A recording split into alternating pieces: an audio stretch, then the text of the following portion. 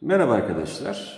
Bugünkü dersimizde canlı çeşitlerini işleyeceğiz. Ee, biyoçeşitlilik deyince aklımıza ne geliyor? Ne demek biyoçeşitlilik? Biyo canlı demek, canlıların çeşitliliği. Biyosfer canlıların yaşadığı küreyi ifade eder. Yani bizler de bunun içerisinde bulunuyoruz. Biyosfer içerisinde yaşadığımız bir yer var. Canlı küre diye adlandırıyoruz. Dünyada canlılar dört temel ortam içerisinde e, varlığını sürdürürler. Peki bu dört temel ortam neresiydi? Hidrosfer yani su küre, atmosfer yani hava küre, litosfer yani taş küre, biyosfer de canlıların yaşamış olduğu yeri ifade eder. Önce tanımlara bakalım. Tanımlarımız ne diyor? Biyoçeşitlilik yani canlı çeşitliliği. Bir bölgede, bu bölge neresi olabilir? Örneğin ekvatoral bölge düşün ekvatoral bölgede binlerce tür canlı yaşamaktadır. O zaman bir bölgedeki çeşitli özelliklere sahip bitki ve hayvan türüne biz biyoçeşitlilik adını vermekteyiz. Peki ekosistem nedir? Ekosistem bir tarla düşünün. Tarlada yaşayan fareler var, yılanlar, yılanlar var. Aynı zamanda tarlanın kendisi var. O bölge için toprak var, toprak içinde bitkiler var. O zaman belli bir bölgede var olan canlı ve cansız varlıkların birlikte oluşturdukları sisteme ekosistem adı verilir. E, biyom ise ne demektir biyom? Biyom e, benzer bitki türlerini, hayvan topluluklarını barındıran yaşam ortamı.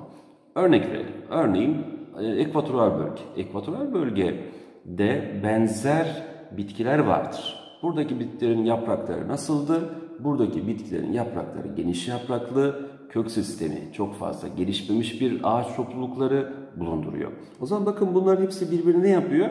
Benzer özellik gösteriyor.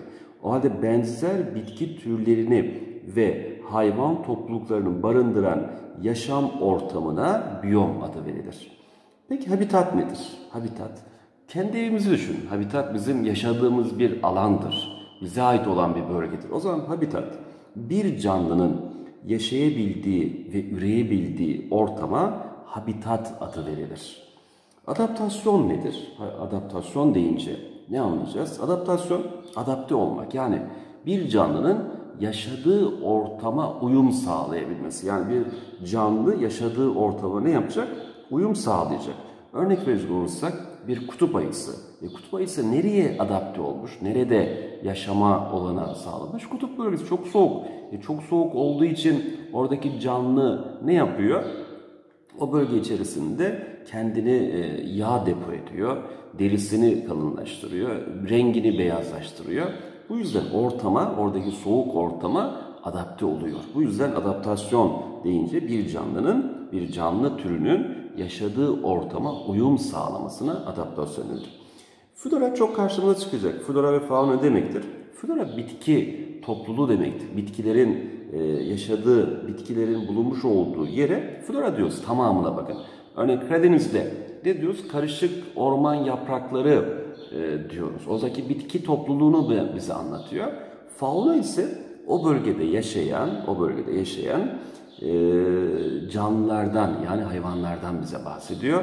Kısaca flora bitki demek, fauna ise hayvan topluluklarını ifade ediyor. Peki popülasyon nedir? Popülasyon belirli bir bölgede yaşayan aynı türe ait yani aynı türe ait olan canlılar bu sefer işin içine girecek ki popülasyon olsun. Yani yaşamış olduğu e, yerde belli bir bölgede yaşayan aynı türe ait olan e, bireyler toplumuna biz popülasyon adını vermekteyiz. Kısaca özetlersek şöyle düşünebiliriz. E, dünyada dört temel ortam var. Hidrosfer su küre, litosfer taş küre, biyosfer canlı küre, atmosfer ise e, hava küreyi bize ne yapıyor? ifade ediyor. Canlıların yaşadığı yeri bizi ifade eden yere biyosfer diyoruz. Biyoçeşitlilik kısaca canlı çeşitliliği. Ekosistem kısaca e, bulmuş olduğu yerin canlı cansız varlıkların e, birlikte oluşturduğu yer. Biyom e, benzer canlıların yaşamış olduğu ortam olarak karşımıza çıkıyor. Peki e, şimdi arkadaşlar e, bitki biyoçeşitlilik yeryüzünde acaba e, nasıl dağılıyor? Bu biyoçeşitliliğin yeryüzüne dağılışını etkileyen faktörler kimlerdir? Yani canlılar neden dünya üzerinde aynı dağılmıyor? Canlıların dağılışını etkileyen faktörler nelerdir? Kimler canlıların dağılışını etkiliyor? Bunlardan birincisi fiziki faktörler. Bu da çok karşımıza çıkacak. Fiziki faktör çok duyacağız. E, fiziki deyince doğal faktörler aklımıza gelecek. Paleo coğrafya, bunu öğrencilerimiz az bilir. Paleo'nun anlamı eski demektir. Eskiden meydana gelmiş coğrafyaya biz paleo coğrafya adını vermekteyiz. Üçüncüsü biyolojik faktörler. Yani canlıların yaşamış olduğu yerde canlı, biyo canlı demek biyolojik yani canlıların yapmış olduğu faaliyetler vardır ki yer üstünde e, canlıların daha etkileyen temel faktörler bunlar. O zaman e, fiziki faktör, paleocoğrafya ve biyolojik faktörler yeryüzünde canlıların dağılışını etkileyen temel faktörlerdir. Buradan çok soru yakalayabiliriz. Bu bölge içerisinde sorular çok fazla gelir. E, bu yüzden canlı türleriyle ilgisi olduğunu sunalım. Şimdi birincisi fizik faktörü anlatalım. En önemli faktör, sene başından beri anlattığımız, derslerde üzerine vurgu yaptığımız iklim faktörü. İklimin e, sıcak veya soğuk olması o bölgede yaşayan canlı türlerini direkt etkiliyor. E, iklim e, aşırı sıcaksa orada yaşayan e, bitki ne yapıyordu? Aşırı sıcak ve kuraksa mesela çöl düşünelim. Çöllerdeki canlılar e, kökleri derine kadar iniyordu. Gövdelerinde su depo ediyordu. E, misal avlanmaya bile hayvanlar gündüz vakti çıkmıyor. Gündüz vakti en serin ortamda kendini dinlendiriyor. O zaman iklim canlıların dağılışında çok büyük role sahiptir. Aynı ayı türünü misal kutupta farklı, e, orta kuşakta farklı görebiliriz. Farklı özelliklere sahip olabiliyor. Çünkü iklimin değişmesi oradaki canlı türünün de değişmesi anlamına geliyor. Örneğin Türkiye'yi düşünürsek Türkiye 12 e, bin bitki türüne sahiptir. Neden 12 bin bitki türü vardır? Bu kadar neden çok farklı gösteriyor? Örneğin e, iklimler çok farklı Türkiye'de. İklimler çok fazla farklı olduğu için e, canlı türleri de çok farklılıklar yapıyor? Gösteriyor.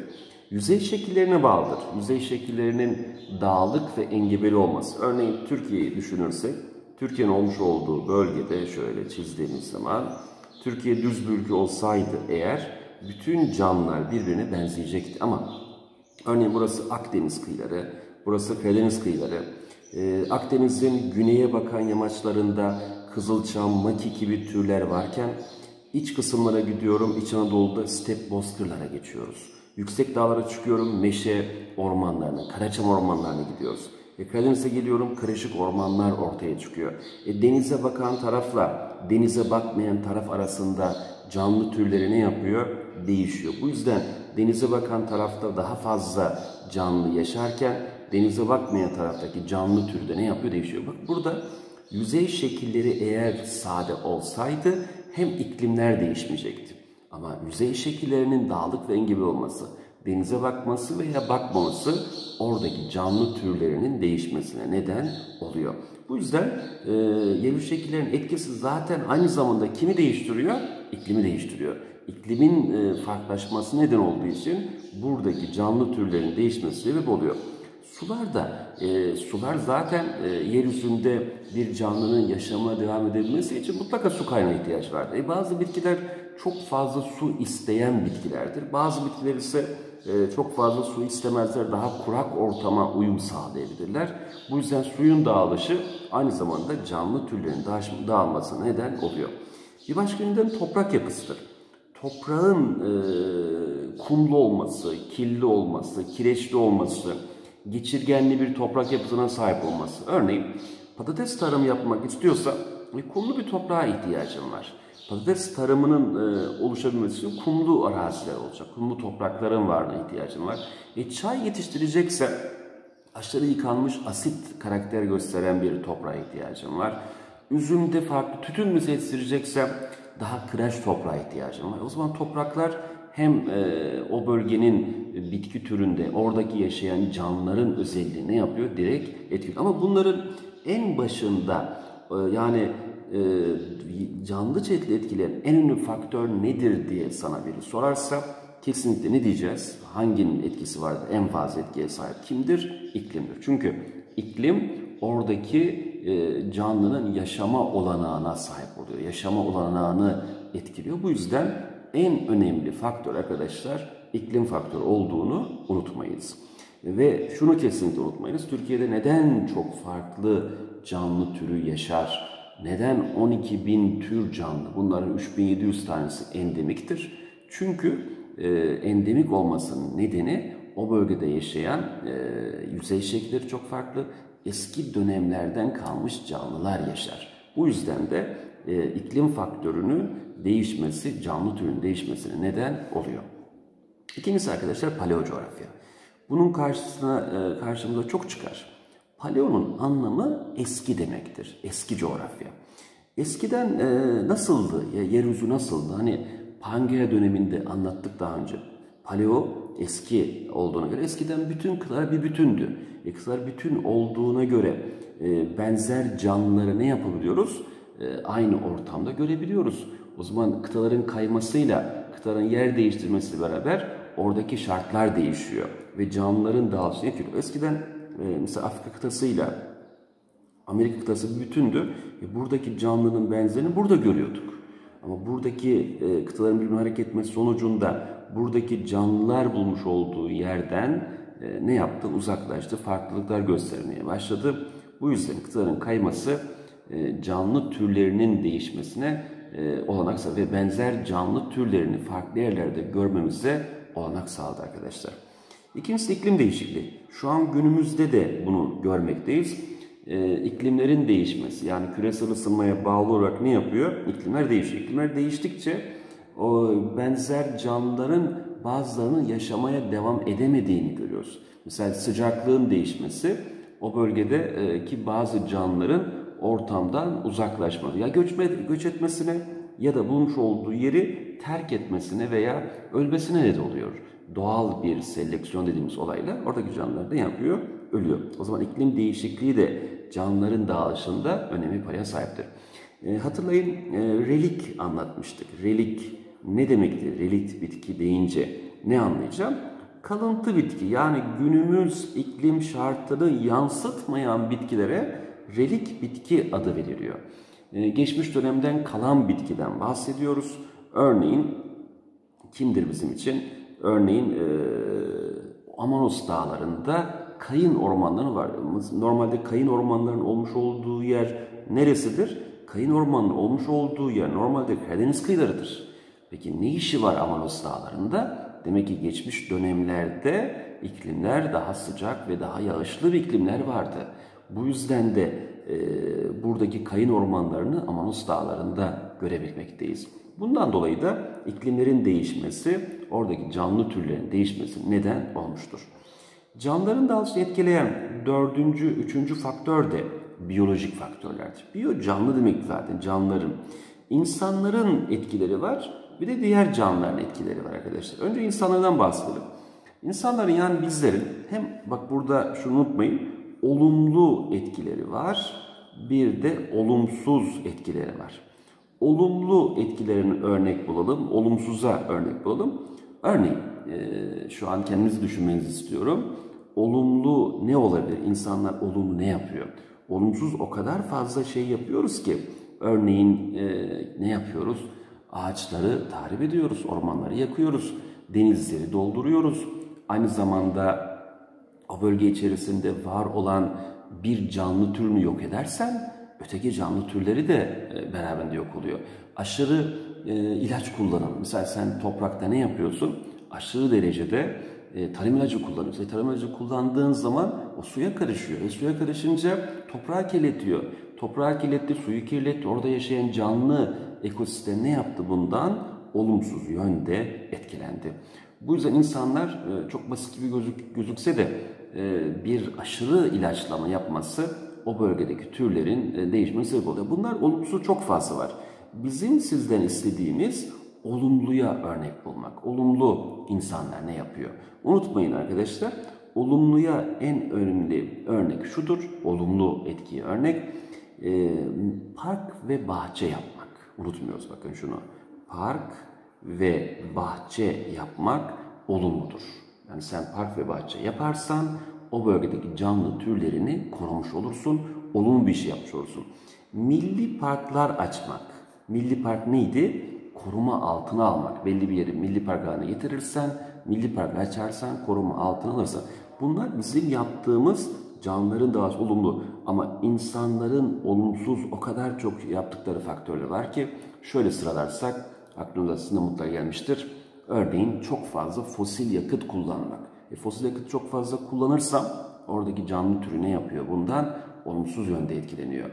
E, küresel ısınmaya sebep oluyor. Küresel ısınma canlıları değiştiriyor. E, Birçok canlı bundan e, olumsuz yönde etkileniyor. Hatta biz de insanlar da sonuçta küresel ısınma sonucunda bizim de e, sonucumuz çok iyi olmayacaktır tabii ki. Aynı zamanda insan faaliyetlerinde denizin doldurma. E, denizi doldurursa e, denizde yaşayan canlı türleri bunlar olumsuz yönde etkileniyor. E, aynı zamanda e, ne yaptık? Misal aşırı e, ilaç kullandık, doğayı kirlettik, çöpü attık, doğayı kirlettik, plastik madde kullandık, doğayı kirlettik. Bu yüzden insanlar canlıların dağılışında çok e, kötü yani olumsuz etkenleri çok daha fazla yapıyorlar arkadaşlar. Bir de diğer canlılar. Ya canlılar da kendi arasında aslında bir ekosistemi oluşturuyor. Neydi ekosistemin tanımı? Canlıların birbirleriyle ve cansız olan ortamla ilişkileriydi. O zaman e, sen canlı bir ortamda misal e, bir tarladaki e, yılan sayısıyla fare sayısı nasıldır? Birbiriyle orantılıdır. Yani sen e, tarladaki fareleri çok fazla avlarsan o zaman yılanlar da kendi ölüyor. Ve yılanı avlarsan yılan azaldığı için fare çoğalıyor. O zaman ekosistem e, giderek kötüleşiyor. Yani o bölgedeki denge bozuluyor. Bu yüzden diğer canlılar da birbirlerini etkileyen faktördür. E, gelecek derslerimizde anlatacağız. Enerji piramidinde altta yaşayan canlı sayımız fazla olacak. Yükseğe doğru yani üstte çıktığımız zaman oradaki canlı türleri azalacak. Toparlarsak dersimizi kolay bir konu öğreniyoruz. Biyoçeşitliliğin yeryüzüne dağılışını etkileyen faktörler yani canlıların yeryüzüne dağılışını etkileyen faktörler kimlerdir? Canlıların dağılışını etkileyen 3 tane temel faktör var unutmuyoruz. Birincisi kimdi? Fiziki faktörler yani dış faktörler. İkincisi paleo coğrafya yani e, neydi bu? E, eski coğrafya. Üçüncüsü biyolojik faktörler yani oradaki e, canlıların yapmış olduğu etki. İklime bağlı, yüzey şekillere bağlı, sulara bağlı e, canlı türünün dağılışında bu faktörlerimiz etkili olduğunu öğrendik. Paleocoğrafya eski olduğu kıtaların kayması, kıtaların bir bütünken o bütün parçalanıyor. Canlı türlerinin değişmesi gibi faktörlerle e, bunlar canlıları daha etkileyen faktörler. Bir de şunu hatırlayalım dersin en başında anlattım. E, biyoçeşitlilik tanımları unutmuyoruz. E, daha önce çıkmıştır sorularda. Biyo canlı demek. Canlıların dağılışından bize ne yapıyor? Basit ekosistem belli bir bölgede canlı cansız varlıkların yaşamış olduğu e, sistemin adına biz ekosistem adını vermiştik. E, gelecek ders görüşmek üzere diyoruz arkadaşlar.